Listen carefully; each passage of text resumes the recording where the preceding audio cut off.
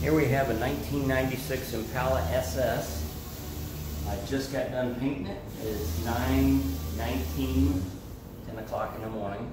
So actually I've been done like an hour, hour and a half. So just finished it. This uh, I took this in a couple weeks ago. It had quite a bit of body work, but it was all minor. So we had to pull the windshield. It was cracked, and it also had some rust repair. So uh, this Impala had been sitting supposedly since 2012. And they had it towed from Palmetto up here so we could uh, work on it, paint it for them.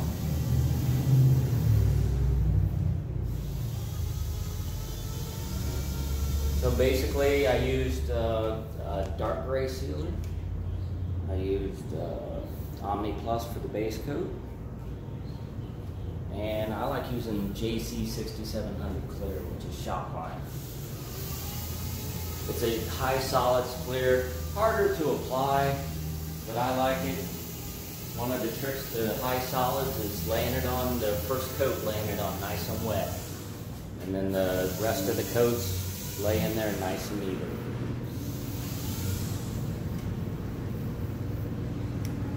We did the jams on this particular car, and also as you can see, we took the hood off and the deck lid, and those had to be stripped. They had minor surface rust.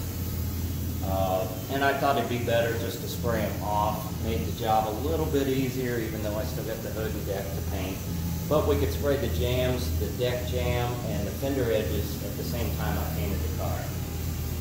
So, makes a nicer job. We still got a little bit of wet sand and buffing to do. See it came out very nice.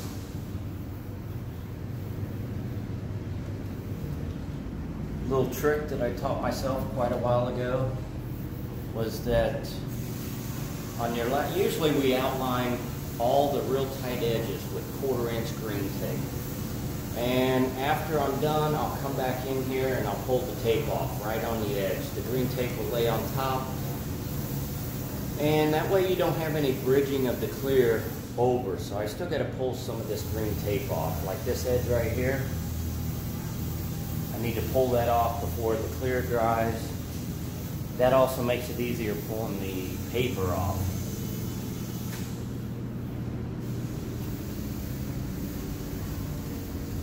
As you can see I got the bottom. Usually I get down on my knees and paint the very bottom. That's about the only way. Just bending over and trying to get the bottom just doesn't work.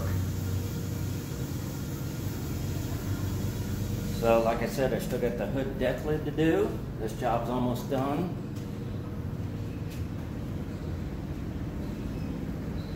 You can see it came out very nice.